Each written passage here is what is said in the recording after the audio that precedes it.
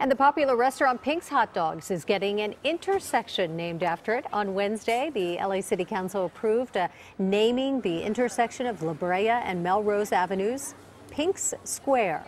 The original owners, Paul and Betty Pink, started working from a pushcart. That was way back in 1939. Then they expanded to their current location, and they've been there since 1947. Since then, of course, these big lines of people always showing up for those famous hot dogs.